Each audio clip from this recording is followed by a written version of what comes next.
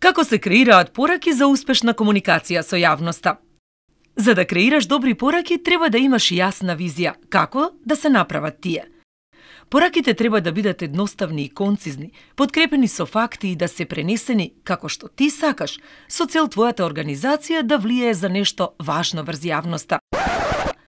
Вака се комуницира порака што не кажува буквално ништо за да успееш и ти да креираш неуспешна порака.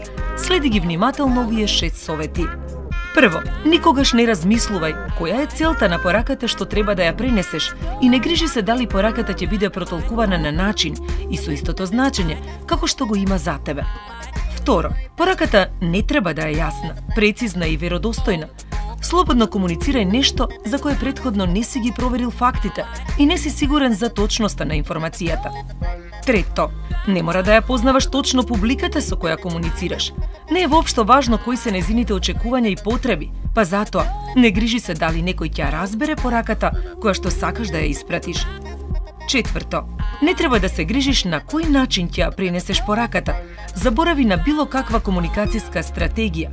Не е важно дали ќе организираш настан, што ќе објавиш преку социјалните медиуми или ќе ги информираш новинарите.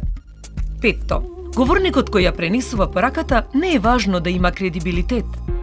Шесто, никогаш не размислувај дали пораката ќе стигне до публиката и дали ќе има реакција од неа. И не заборавај, пораките не треба да бидат во согласност со пределбите на твојата организација.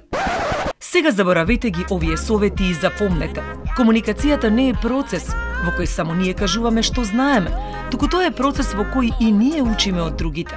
При креирање на пораките, внимавајте тие да се кратки, јасни, пренесени на вистинскиот јазик, согласно потребите на публиката и да повикуваат некаква акција.